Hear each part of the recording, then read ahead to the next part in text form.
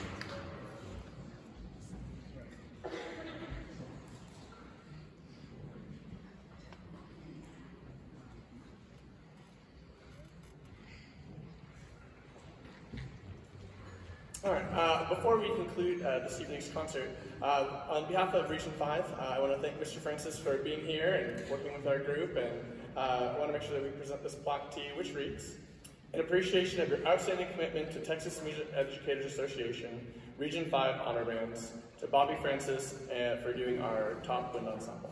Thank you so much.